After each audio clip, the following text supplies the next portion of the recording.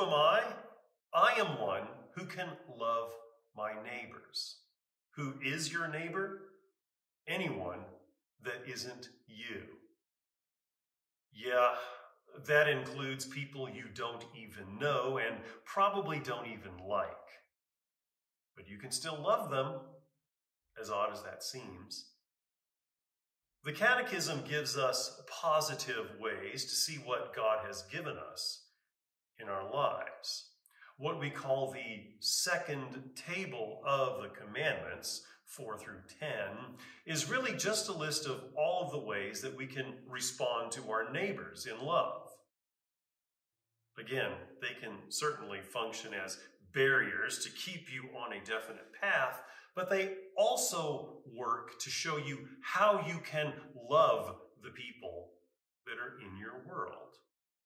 Honoring those who are in authority, supporting people in their physical needs, helping our married friends see the benefits of their married life, making sure our neighbors keep what is theirs, and speaking well of others, even when it might be hard to do so. There's a redundancy built into those words. A lot of territory is covered more than once. It's not a bug, it's a feature.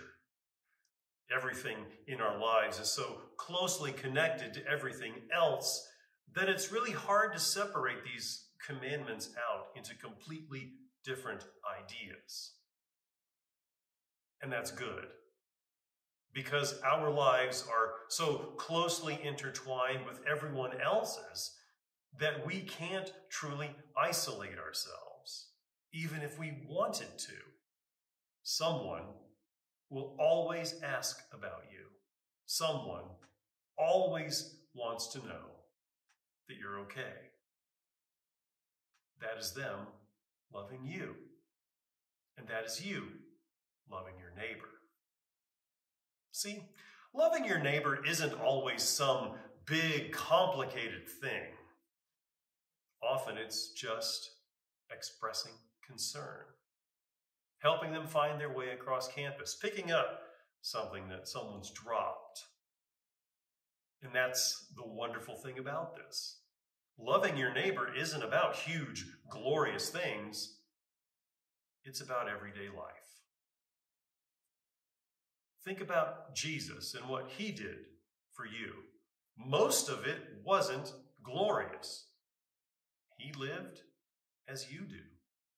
A flesh and blood human being in this world gone wrong, tempted as you are, experiencing all of the craziness of youth and puberty and young adulthood on the way to being an adult, on the way to doing what you cannot, giving his life for yours so that you can be with him and all of the faithful for all of eternity in the life of the world to come. Now that is beyond our understanding. Just remember, though, that he did this out of love for you. And because there is no way to repay this debt, we can do nothing to match the gift of everlasting salvation. You can show your thanksgiving for that by loving those around you. Jesus loved you to death and life again. Loving those around you in actions and words is a perfectly acceptable way to show your love and thanksgiving for what God has done for you.